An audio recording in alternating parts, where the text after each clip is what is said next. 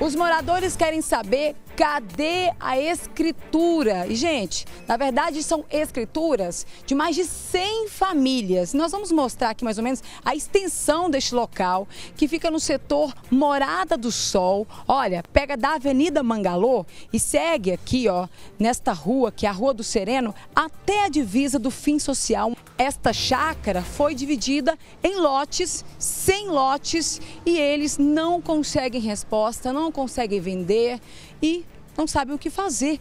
Né? E por isso, o seu domício e reuniu alguns moradores aqui para a gente entender o que está acontecendo e também ter uma resposta. Seu domício, o senhor mora nessa casa há quanto tempo?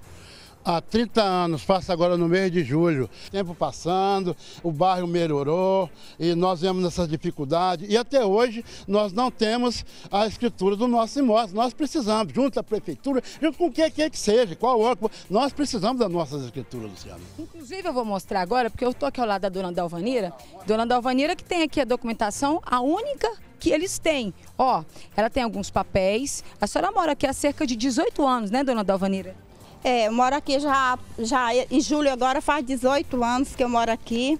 E eu comprei esse lote aqui em 98 e não tem a escritura. Eu comprei enganada, eles me enganaram, não falaram que, ele, que aqui não tinha escritura. E agora, esse homem que vendeu para nós está querendo na faixa de 1.500 a 2.000 reais para poder liberar as escrituras para nós.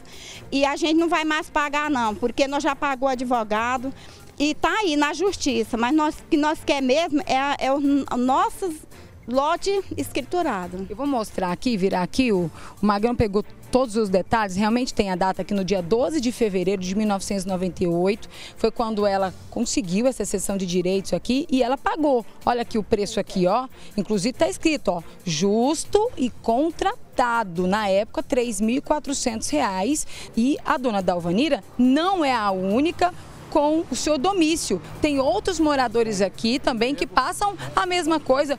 O senhor João, se o senhor quiser hoje vender a sua casa, o seu lote, como é que o senhor vai fazer? Luciana, é difícil da gente falar porque não tem nem como negociar um imóvel desse sem escritura. É o que o domício acabou de falar. Nós, nós merecemos as nossas escrituras. Nós pagamos, nós compramos, nós pagamos nossos impostos em dia. Por que não essa escritura não sai? Aqui era tudo terra. Quando nós compramos aqui, a gente tem os papel, tudo, só não tem escritura, né? Mas temos papel tudo, do, do desmembramento do lote, dos, dos, da coisa aqui, dos. Acho que é uns 100 lotes aqui, vai a terceira rua aqui para baixo. E a gente pegou, mas não pegou a escritura, né? Seu Domício, só para a gente terminar aqui, eu gostaria que o senhor me respondesse só uma coisa.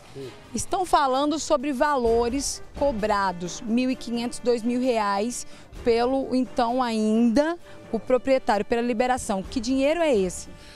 É, Luciana, eu acho que as imobiliárias, sempre que ela vende um, um loteamento, e na hora de, de, de entregar o documento para passar, eles cobram uma taxa. É essa taxa que o proprietário, assim diz o nosso advogado, que ele está cobrando. Mas a gente não tem nada certo ainda, então a gente tem que verificar, né? Porque nós não vamos pagar mais nada para ninguém se a gente não tiver certeza que nós vamos é, ter a liberação da, da, da escritura, do, do, do documento aqui para nós escriturarmos nossos imóveis. Tá, Luciano?